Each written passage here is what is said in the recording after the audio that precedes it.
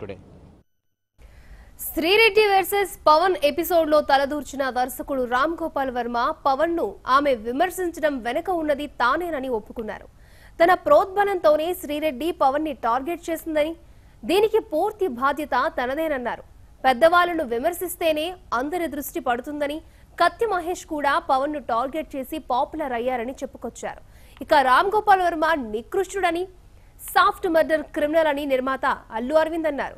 శ్రీరెడ్డి పవన్ కళ్యాణ్ వివాదంలో దర్శకుడు వర్మ తలదూర్చి తన ప్రతీకారం తీర్చుకోవాలని చూశారని ఆరోపించారు. ఒకవేళ ఎవరైనా శ్రీరెడ్డిపై దాడి చేస్తే ఆ నింద పవన్ కళ్యాణ్ పై అతడి ఫ్యాన్స్ పై వేద్దామనుకున్నావా వర్మ అని అల్లు అరవింద్ ప్రశ్నించారు. నేను సురేష్కి తెలియకుండా కేవలం నాకు ఆ అమ్మాయికి సురేష్కి వాళ్ళ ఫ్యామిలీకి సాయం చేద్దాను ఉద్దేశంతో నేను- నేను ఒక ఒక మాట్లాడినప్పుడు ఆ అమ్మాయి ఫైవ్ క్రోర్స్ రిఫ్యూజ్ చేసింది. ఇది వాస్తవం. రెండోది ఆ అమ్మాయిని పవన్ కళ్యాణ్ని అలా అనిపించేలా ఇన్ఫ్లుయెన్స్ చేసిన మనిషి నేను. అమ్మాయి ఐడియా కాదు. పవన్ కళ్యాణ్ ఫ్యాన్స్తో నీకున్న నీకున్న దుగ్ధ పవన్ కళ్యాణ్ అంటే నీకున్న కోపాన్ని ఒక శ్రీరెడ్డిని అడ్డం పెట్టుకొని నువ్వు ఇటువంటి బూతు మాటలు మాట్లాడించి నీ కసి తీర్చుకుంటున్నావు. అటువంటి తక్కువ రకం మనిషివి నువ్వు.